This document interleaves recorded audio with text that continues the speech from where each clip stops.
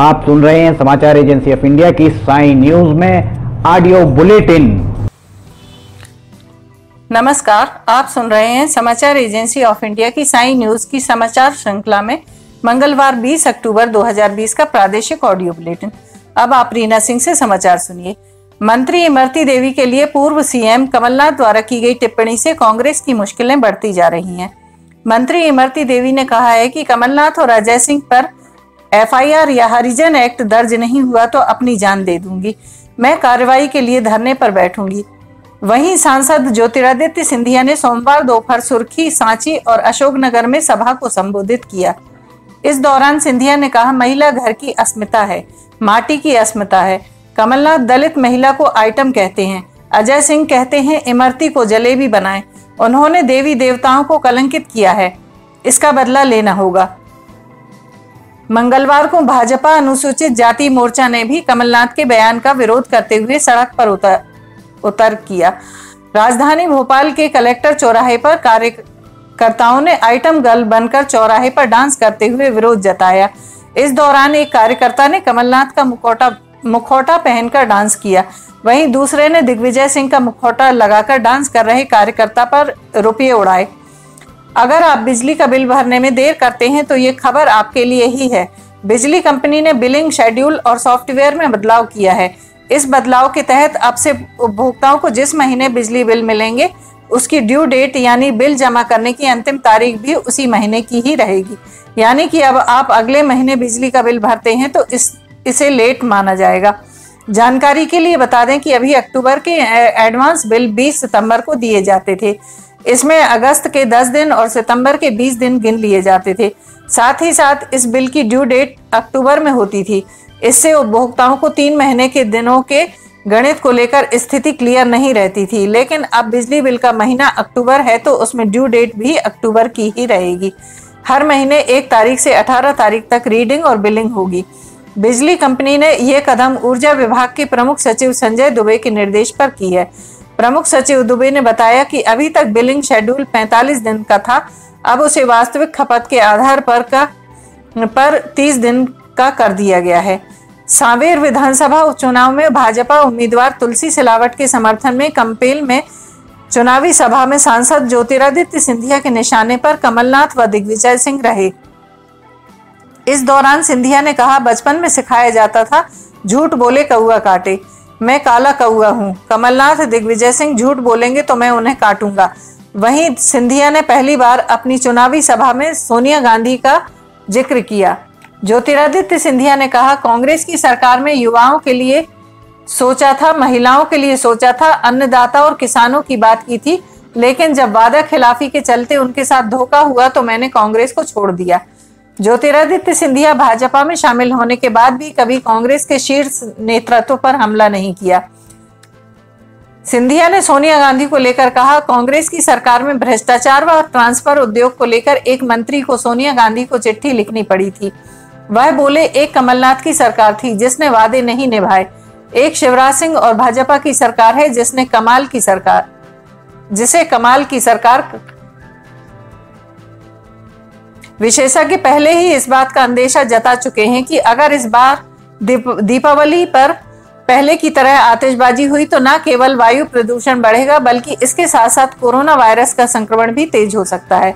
चिकित्सकों का मानना है कि पटाखों से निकलने वाले घातक काले धुएँ से पहले ही सांस की बीमारी से ग्रस्त लोगों की परेशानी बढ़ती जा रही है। ऐसे में अब अगर कोरोना काल में आतिशबाजी हुई तो वह उन लोगों के लिए भी घातक से साबित हो सकती है जो कोरोना काल कोरोना का को मात देकर स्वस्थ हो चुके हैं। वैसे भी कोरोना एक्सपर्ट पहले ही सचेत कर चुके हैं कि नवंबर महीने में कोरोना संक्रमण तेज हो सकता है। ऐसे में जबलपुर के लोगों ने नेशनल ग्रीन ट्रिब्यूनल में एक जनहित याचिका दायर कर पटाखों पर पूरी तरह से पाबंदी लगाने की मांग की है। आमतौर पर छेंद का पेड़ एक ही लंबी शाखा वाला होता है। इसमें अन्य शाखाएँ नहीं होती, लेकिन मध्य प्रदेश के बैतूल के बारहवीं गाँव के समीप एक पाँच टहनियों वाला दुर्लभ छींद का पेड़ मिला है। गाँव से दो किलोमीटर दूर बगई नामक स्थान पर एक छोटी नदी के किनारे यह पेड़ मौजूद है। किसान अमरलाल के खेत में त्रिशूल आकार लिए पाँच टहनियों वाला यह छींद का पेड़ अब आस्था का केंद्र बन गया है।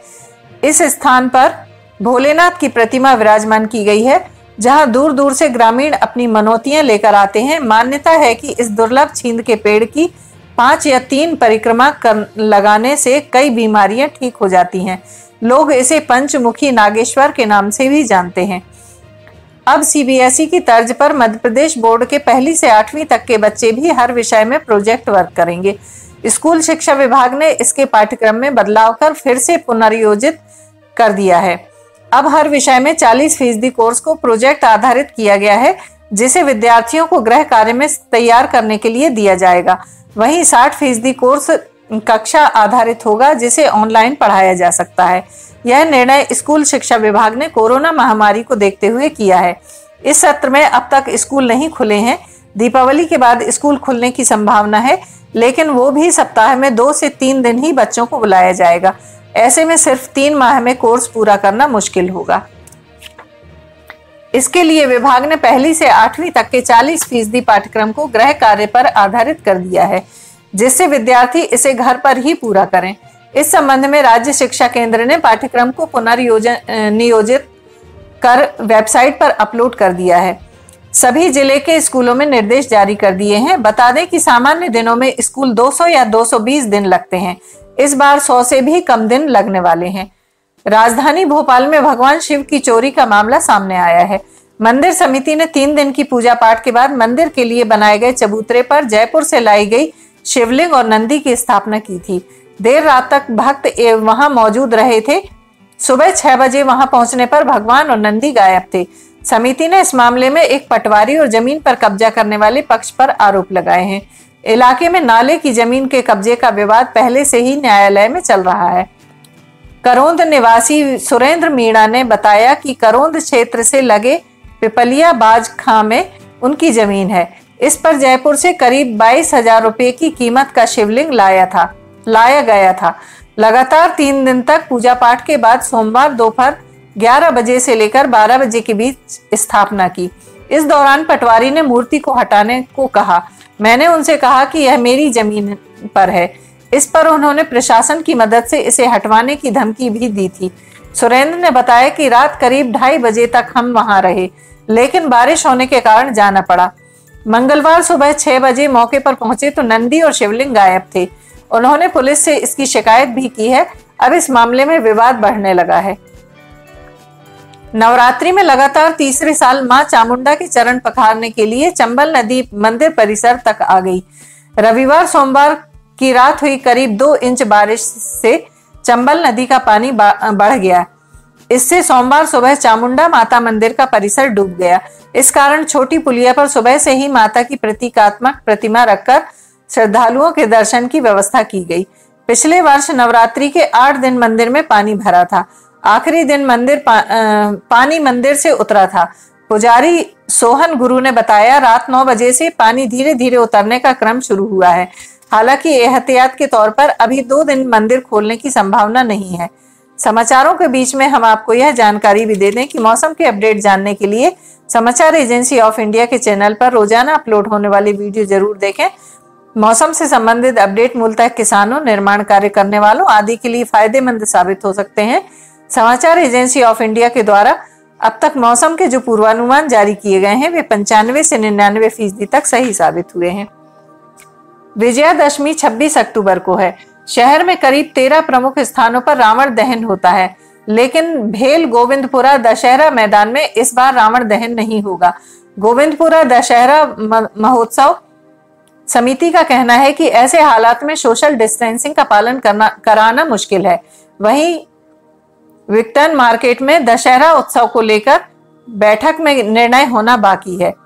इसके अलावा शहर में दशहरा उत्सव मनाया जाएगा, लेकिन छोटे रूप में। शहर में सबसे बड़ा रावण कलिया सोत में बनाया जाएगा, जिसकी ऊंचाई 50 फीट रहेगी। इसके साथ मेघनाथ और कुंभकर्ण के 30-30 फीट के पुतले बनाए जाएँगे। समितियों का कहना है कि एक दो अतिथियों को छोड़कर हमने किसी आम जन को आमंत्रित नहीं किया है। सिर्फ़ समितियों के सदस्य ही उत्सव में शामिल रहेंगे। आप सुन रहे थे रीना सिंह से समाचार एजेंसी ऑफ़ इंडिया की साई न्यूज़ में। मंगलवार 20 अक्टूबर का प्रादेशिक ऑडियो बुलेटिन। बुधवार 21 अक्टूबर को एक बार फिर हम ऑडियो बुलेटिन लेकर हाजिर होंगे। अगर आपको यह ऑडियो बुलेटिन पसंद आ रहे हो तो आप इन्हें लाइक, शेयर और सब्सक्राइब ज़रूर करें। सब्सक्राइब कैसे करना है, यह हर वीडियो के आखिर में हम आपको बताते हैं। फ़िलहाल इजाज़त लेते हैं। नमस्कार। नमस्कार दोस्तों, हम आपको आज बताने जा रहे हैं कि समाचार एजेंसी ऑफ़ इंडिया के साइन न्यूज़ और समाचार एजेंसी ऑफ़ इंडिया के चैनल को आपको किस तरह सब्सक्राइब करना है? सबसे पहले आप अपना ब्राउज़र खोलिए, या तो ब्राउज़र खोलेंगे, या फिर आपके पास यूट्यूब का ऐप होगा, उसे खोलिए। या तो ब्राउज़र में Y O U T U B E dot इसके बाद डॉट लगाकर C O M YouTube dot com आप खोलेंगे। यूट्यूब आपका खुल जाता है। यूट्यूब में आप लॉगिन हैं। साइड में यहाँ आपको लॉगिन करना होगा। लॉगिन करने के बाद आप इसमें टाइप करिए इस जो आपका ये इसके अंदर L I M T Y K H A R E L I M T Y K H A R E आप टाइप कीजिए। जैसे ही आप ये टाइप करते हैं लिमटी खरे आ, खुल जाता है। आप देखिए यहाँ लाल रंग का ये बना हुआ है। आप इस पर जैसे ही क्लिक करिए ये अब आपके सामने ये सब्सक्राइब बटन आ रहा है। इसमें आप इसको दबाइए। जैसे ही आप ये सब्सक्राइब बटन को दबाएँगे, ये इसका लंग, रंग लाल नहीं रह जाएगा। इसके बाजू में ये देखिए, घंटी का बटन, बेल जो है, बेल को आप पुश करिए। बेल में नोटिफिकेशन आप ऑल कर दीजिए। जैसे ही आप नोटिफिकेशन ऑल पुश करते हैं वैसे ही आपका आप समाचार एजेंसी ऑफ़ इंडिया की इस चैनल को सब्सक्राइब कर देते हैं। अब हम आपको बताते हैं समाचार एजेंसी ऑफ़ इंडिया के अगर होम में आप देखेंगे तो होम में आपको शुरू के चार, पाँच जो वीडियोस हैं वो आपको दिखाई देंगे। इसके वीडियोस में अगर आप जाएँगे तो वीडियोस में आप देखिए, अभी तक जितने भी वीडियोस अभी तक डले हुए हैं, सारे के सारे वीडियोस आपको इसके अंदर दिखाई दे जाएँगे। आप जो भी वीडियो चाहें आप इसको जो भी वीडियो आप चाहते हैं उन वीडियो उस वीडियो को आप चाहें तो क्लिक करके खोल सकते हैं उसे आप आ, देख सकते हैं। आ, ये उदाहरण के लिए हम आपको बताते हैं कि जैसे मान लीजिए ये आपको मौसम का अपडेट है ये ये आप खोल के देखिएगा ये खुल गया इसमें ये विज्ञापन भी आपको शुरू में चलते दिखेंगे। इसके बाद आप बैक करके वापस जा सकते हैं।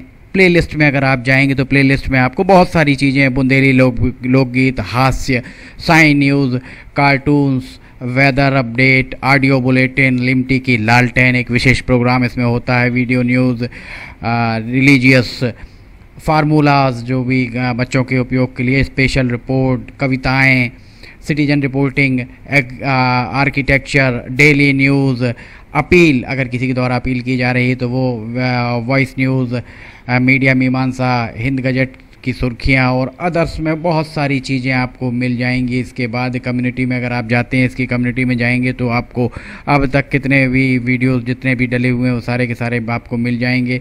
अबाउट में इसके क्या है, समाचार एजेंसी ऑफ़ इंडिया के ज़रिए देश प्रदेश में घटने वाली घटनाओं, समसामयिक विषयों पर चर्चाएँ ऑडियो बुलेटिन मॉडम, मौसम के अपडेट स्टूडेंट्स के लिए जानकारियाँ, मनोरंजन आदि को स्थान दिया जाता है। समाचार भेजने के लिए E mail L I M T Y K H A R E at the rate G mail dot com और WhatsApp number nine four two five zero one one two three four nine five eight four six four seven four three eight पर video भेज सकते हैं। आप वापस home में आप आ जाइए, आप देखिए सब्सक्राइब आप इस तरह आप इसको सब्सक्राइब कर सकते हैं। सब्सक्राइब ज़रूर करें और अपने दोस्त मित्र यारों को कराएँ, ताकि जैसे ही आप सब्सक्राइब करते हैं सब्सक्राइब करने के बाद इसमें जितने भी वीडियोस आएँगे, वो तुरंत आपने चूँकि ये बेल आइकॉन जो हमने आपको दिखाया है बेल आइकॉन आपने पुश किया है, इसलिए जितने भी वीडियोज़ आएँगे, वो सारे के सारे वीडियोज़ आपको तत्काल मिल जाएँगे। नमस्कार।